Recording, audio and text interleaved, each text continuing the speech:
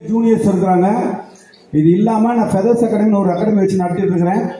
இதெல்லாம் எப்படி அப்படின்னா நான் ஒன்றும் பிறவியில் ஒரு பெரிய பணக்காரனோ அப்படிலாம் கிடையாது.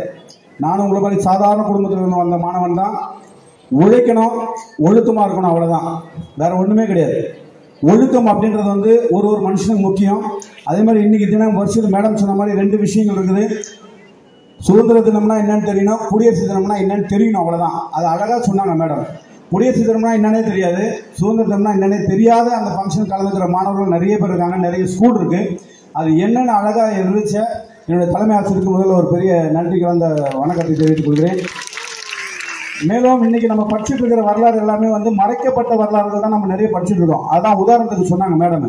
இன்னைக்கு உலகத்திலேயே ஆங்கிலேய எழுத்த முதல் பெண்மணி யாருன்னு கேட்டால் நம்ம முதல்ல என்ன சொல்லுவோம்னா ஜான்சி ராணி லக்ஷ்மிபாய் அப்படின்னு சொல்லுவோம். சத்தியமா அது மாதிரி கிடையவே கிடையாது. உலகத்திலேயே முதன் முதலில் ஆங்கிலேயர் எழுத்த வீர பெண்மணி வந்து சிவகங்கை சமஸ்தானத்தில் பிறந்த வீரமங்கை வேலுநாச்சியார்.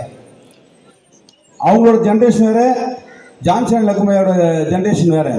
ஒரு நூற்று ஆண்டுகளுக்கு பின்னாடி வந்தவங்களோட வரலாறு தான் முதல் பெண்மணி நம்ம படிச்சுட்டு இருக்கோம். அதே மாதிரி இன்னைக்கு உலகத்திலேயே ஹியூமன் பாம் அப்படின்னு யாருன்னு பார்த்தீங்க அப்படின்னா மனித வெடிகுண்டுன்னு சொல்லுவாங்க. யாருன்னு பார்த்தீங்கன்னா குயிலி. அந்த குயிலி யாருன்னு பார்த்தீங்க அப்படின்னா வீரமங்க வேலுநாச்சியாரோட மெய்காப்பாளர். இந்த வரலாறை நம்ம முதல்ல படிக்கணும்.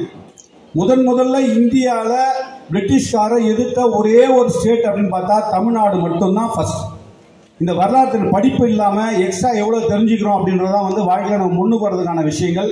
படிப்பை தவிர நிறைய படிக்கணும். எனக்கு இந்த ஸ்கூல் நிறைய கற்றுக் கொடுத்துச்சு. அது மாதிரி இன்னைக்கு சொல்லிக் கொடுக்குறதுக்கு ஆசிரியர்கள் ரெடியாக இருக்கிறாங்க. நம்ம மாணவர்கள் சரியா இல்லை. அதுக்கு ஒரே ஒரு ரீசன் டூ மினிட்ஸில் முடிச்சிடுறேன். அதுக்கு ஒரே ஒரு ரீசன் என்னென்னா இன்னைக்கு நம்மளோட நாகரிக வளர்ச்சி அப்படின்னு சொல்லக்கூடிய செல்ஃபோன் என்னோட மாணவர்கள் எல்லாருக்கும் கேட்குறேன். என்னோட தோழர்கள் எல்லாரும் கேட்குறேன். என்னோட தம்பிங்க எல்லாருக்குமே கேட்குறேன் தயவு செய்து இதுல எத்தனை பேர் செல்போன் யூஸ் பண்றீங்க? கை தூக்குங்க.